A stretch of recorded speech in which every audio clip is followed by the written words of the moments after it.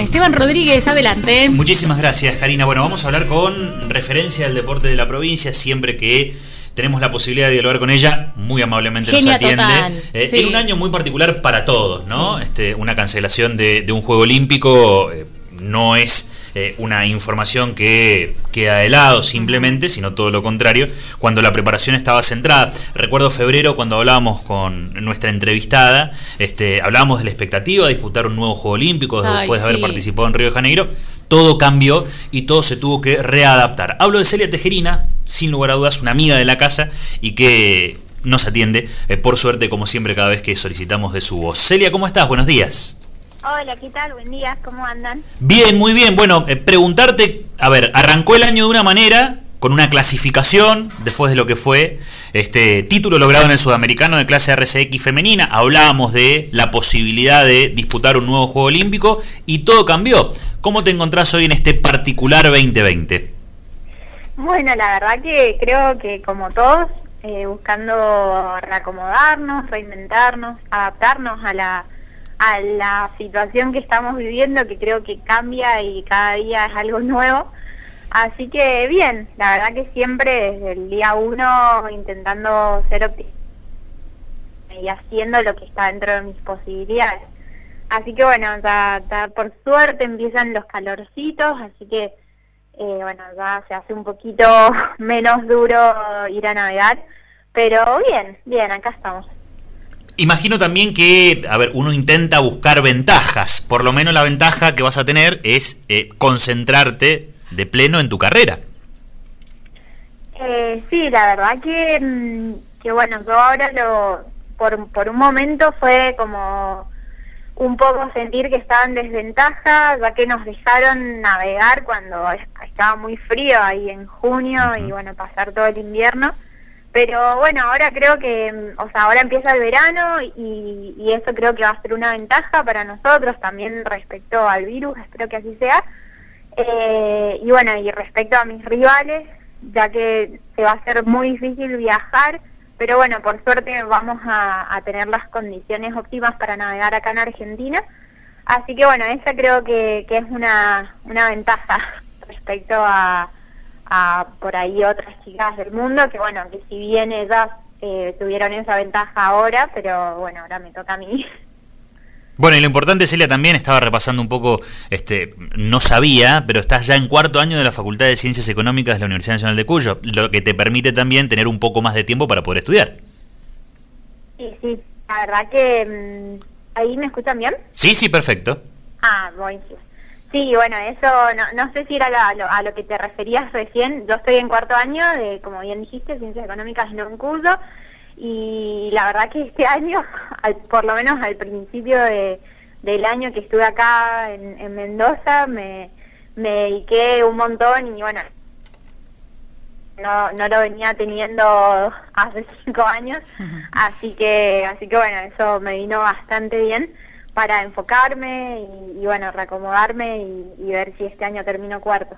Celia, ¿cómo va a ser la planificación cambiando este, las rutinas lógicas producto de que los Juegos Olímpicos se pasan para el 2021? Es decir, que se tiene que planificar a largo plazo. ¿Cómo cambia en la rutina diaria de este, permanentemente ir al dique, entrenar en tu casa, eh, el aspecto físico, el anímico? Bueno, la verdad que creo que como a todos nos pasa, son momentos. Eh, por momentos estoy súper motivada y contenta por esto que hablaba, tiempo para estudiar, estar acá en Mendoza, que si no estaría todo el tiempo viajando. Pero bueno, por otro lado también se aseguro esto, tengo que ir a, a cinco veces a la semana como mínimo. Eh, bueno, eso requiere un montón de tiempo, energía. Tampoco es que veo a mi familia y amigos por porque bueno, respeto el aislamiento voluntario. Y, mm, y bueno, y sí también extraño viajar, estar en contacto con, con otras competidoras, con mi entrenador.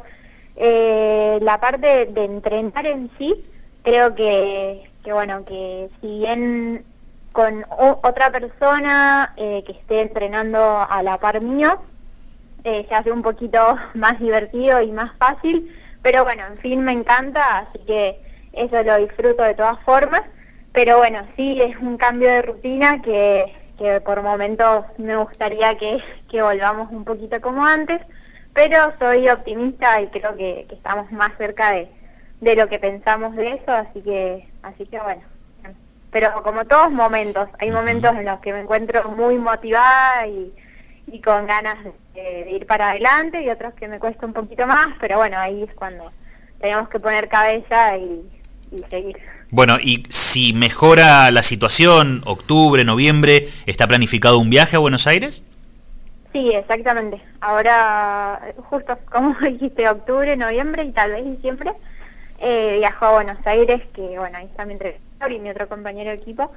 Y bueno, ya, ya después enero, o sea, ya después lo que es el 2021, estamos un poco esperando a ver si, si, es si largan campeonatos internacionales para meterlos en la planificación y, bueno, y también ver un poco cómo nosotros teníamos planeado entrenar en Mar del Plata, pero bueno, estamos viendo a ver qué, qué pasa con, con la costa argentina. Bien, y esto se lo pregunto siempre a los deportistas. Eh, ¿Hay temor al contagio? A, a ver, em, teniendo una situación tan delicada como la que está atravesando la provincia de Mendoza, eh, ¿el temor del deportista está centrado en que se contagie uno o que sea un medio transmisor para sus familiares? No, la verdad que mi miedo, eh, tal vez al principio sí, era contagiarme yo y bueno, y por ahí con miedo a la infección, de lo que me pueda causar a nivel físico, pero eh, hoy por hoy, como un poco se está viendo, hay más avance respecto al conocimiento del virus, realmente mi miedo es contagiar a, al de al lado, eh, porque bueno, soy una persona muy saludable y, y creo que el virus en mí no no, no va a ser un, nada muy grave más que una gripe, que bueno, sí se siente muchísimo, pero, pero bueno, no, no va a ser más que eso, pero mi mayor miedo es contagiar a, algún, ser, algún ser querido. Celia, como siempre es un placer poder dialogar con vos, que sigan los entrenamientos, las prácticas y que bueno, que todo sea para bien, pensando en Tokio 2021 y esta posibilidad y un nuevo desafío en una nueva cita olímpica. Te mando un abrazo muy grande. No, muchísimas gracias a ustedes por el espacio y la verdad que siempre es muy lindo charlar y bueno, y ponernos en contacto. Gracias.